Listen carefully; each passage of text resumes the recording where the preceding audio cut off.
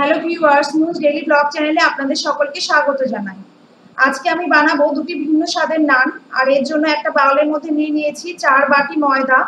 তার মধ্যে দিয়ে দিয়েছি দু চামচ লবণ, হাফ চামচ খাবার সোডা, এক চামচ চিনি, আর দিয়ে দিচ্ছি প্রায় চার চামচ মতন সাদা তেল। এবারে এই পুরোটাকে খুব ভালো করে মিশিয়ে নেব। যাতে পুরো তেল, লবণ, পুরো ময়দার সাথে খুব ভালো করে মিশে যায়। এক থেকে দু মিনিট মতন এরকম নাড়িয়ে চাড়িয়ে মিশিয়ে নেব। এবারে এর মধ্যে দিয়ে দেব দুধ। এটা ফুটিয়ে রাখা দুধ। কাঁচা দুধ ব্যবহার করবেন না। পুরো দুধটা একবারে দেব না।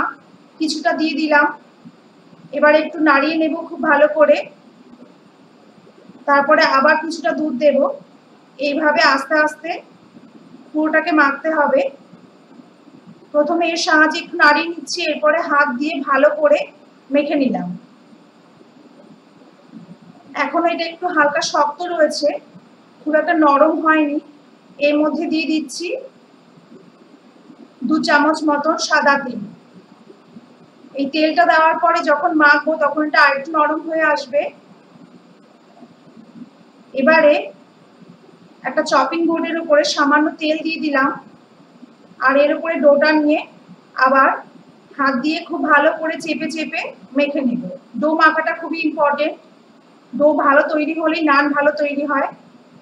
এটা একটু নরম হয়ে এসেছে। এবারে বাওয়ালের মধ্যে দশ মিনিটের জন্য চাপা ঢাকা দিয়ে রাখব। দশ মিনিট পরে দেখুন, ডোটা কত সুন্দর নরম হয়ে গেছে। এবারে এই দইয়ের থেকে লেচি কেটে নেব।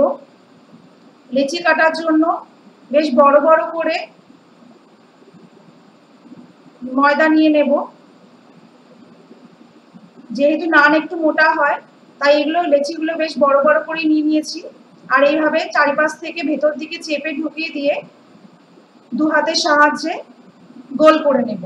এইভাবে বাকিগুলোও করে নেব আর দশ মিনিটের জন্য সেট হওয়ার জন্য রেখে দেব।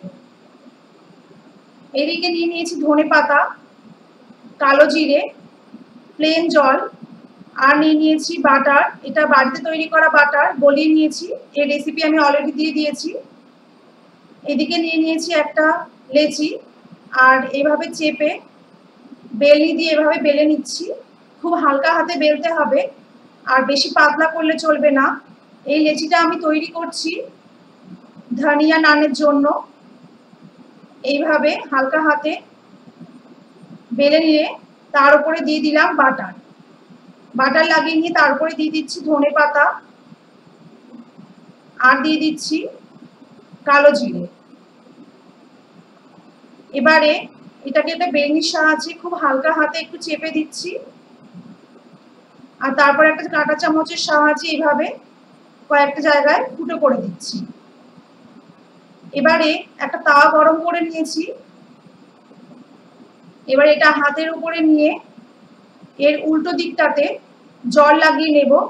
কোনো রকমের তেল বা বাটার কিছুই লাগাবো না প্লেন জল লাগাবো। আর এইভাবে গরম তার ওপরে বসিয়ে দেব। আর একটু আঙুলের সাহায্যে চারিপাশগুলো হালকা করে চেপে দেব।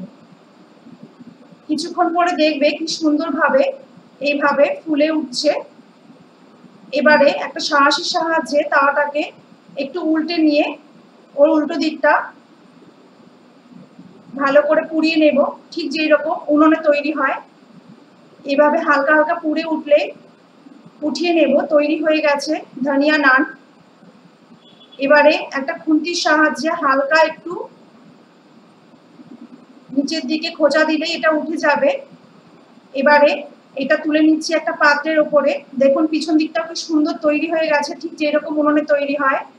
এইভাবে সার্ভ করে নিচ্ছি একটা প্লেটে আবার নিয়ে নিচ্ছি আরেকটা ডো এটাও খুব হালকা হাতে বেলে নিচ্ছি।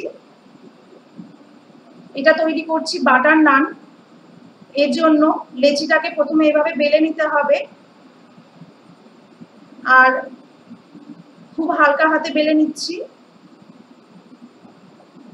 এবারে এটা এইভাবে ঠিক যেরকম আমি করছি এইভাবে ভাজ করে নিতে হবে।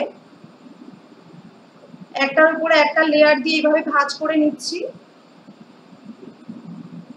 ভাজ হয়ে গেছে।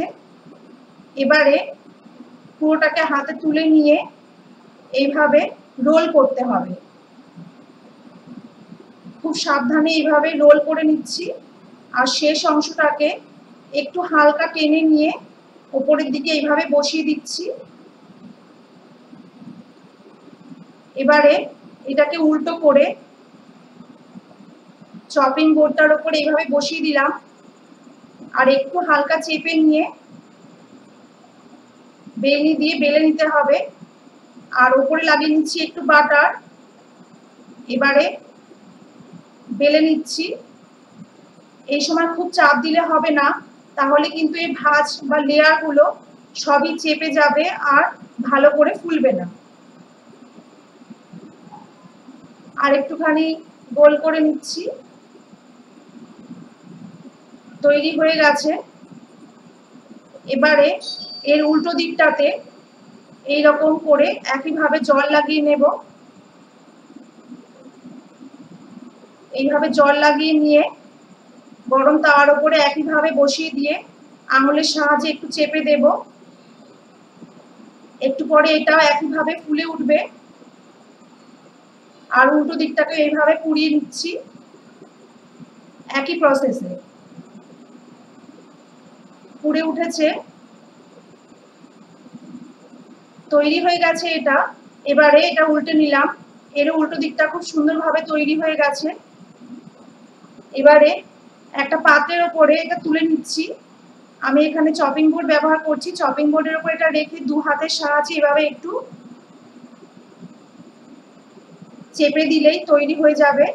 দেখুন এই লেয়ারগুলো কি সুন্দর খুলে গেছে। এবারে এর উপরে দিয়ে দিচ্ছি সামান্য বাটার। বাটার নানের ক্ষেত্রে বাটার অবশ্যই গুরুত্বপূর্ণ, আপনারা আপনাদের প্রয়োজন অনুযায়ী দেবেন। আর এইভাবে লেয়ার তৈরি হওয়ার জন্য বাটার নানের মধ্যে খুব ভালোভাবে বাটার ঢুকে যায় আর খেতে লাগে খুব সুন্দর। এর প্রত্যেক কামড়ে বাটারের টেস্ট আসে। আপনারাও এইভাবে ধনিয়া নান আর বাটার নান বাড়িতে তৈরি করে নিতে পারেন। ভালো লাগলে অবশ্যই জানাবেন।